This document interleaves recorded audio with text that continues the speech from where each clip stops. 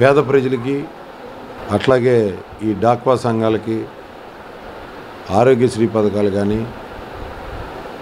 అట్లాగే ప్రతి చైర్మన్ పదవికి అంటే ఎస్సీ కార్పొరేషన్కి కానీ కాపు కార్పొరేషన్కి కానీ ఇట్లా ప్రతి కార్పొరేషన్లకి డబల్ డబల్ అమౌంట్ ఇస్తూ వాళ్ళల్లో పేదవాళ్ళని పైకి తీసుకురావాలని చెప్పి ఆయన నిన్న బడ్జెట్లో పెట్టిన విధానం చూస్తే అదే అర్థమవుతుంది.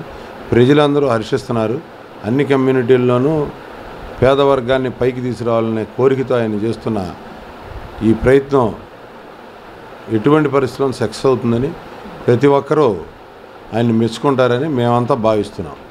అట్లాగే ఆయన పెట్టే విధానాల్లో నవరత్నాలు అనేది ప్రధానమైంది.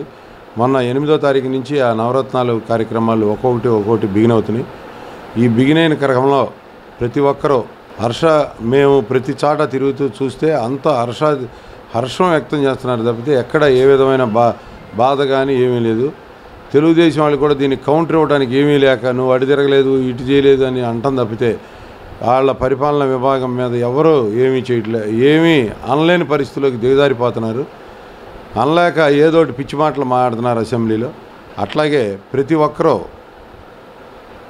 ఇరిగేషన్కి కూడా పదమూడు వేల కోట్లు బడ్జెట్లో పెట్టారు. అది కూడా చాలా గొప్ప విషయం.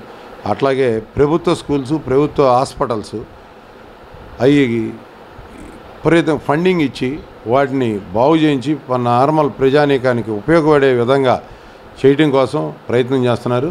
ఒక సంవత్సరం పరిపాలన కనుక ఆయన పూర్తి అయ్యేటప్పటికీ పూర్వం గవర్నమెంట్ హాస్పిటల్కి వెళ్తే ఎంతసేపు అనుకున్నారో ఆ పరిస్థితికి వస్తుందని చెప్పి మేమంతా ఆయన ఆయనతో పాటు ఆయన కింద మేము పనిచేస్తూ ఉండా కూడా మేము ఆశిస్తున్నాం. ఆయన ఈ విధంగా చేస్తున్న ప్రతి ఒక్క కార్యక్రమానికి అందరం మేమందరం హర్షమే వ్యక్తం చేస్తున్నాం. ఎక్కడ తప్పులు లేవు. ప్రతి పరిపాలనలోనూ నాయకుడు అనేవాడు ఇలా ఉండాలి పారదర్శకత జీవించాలి అనే విధంగా ఉందని మా అభిప్రాయం.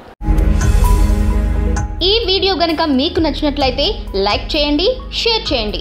మరిన్ని వీడియోస్ కోసం మా ఛానల్ను సబ్స్క్రైబ్ చేయండి.